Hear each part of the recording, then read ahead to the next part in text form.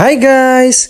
Ngayong araw ay sasamahan natin sila Paris at Kenzo sa kanilang school para sa kanilang United Nations Day.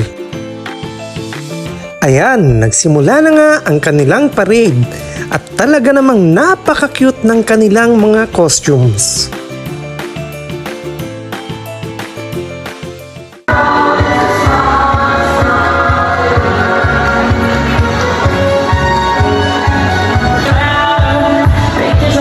Eto na guys, nagsimula na lang mag-perform ang klase nila Kenzo at ang kanilang sinasayaw ay Waka Waka. Go Kenzo!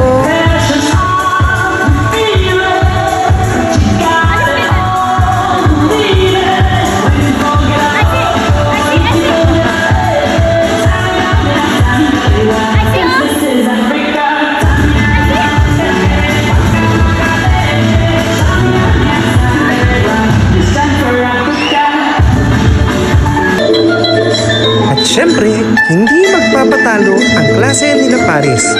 At kaya naman sila na ang nagpe-perform. Go Ate Paris!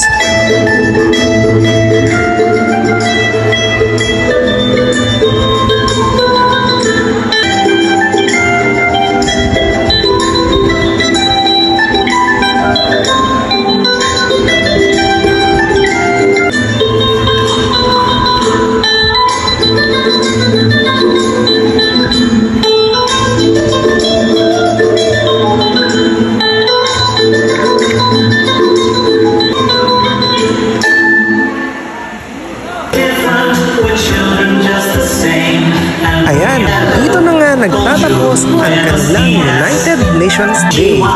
Salamat sa panunood!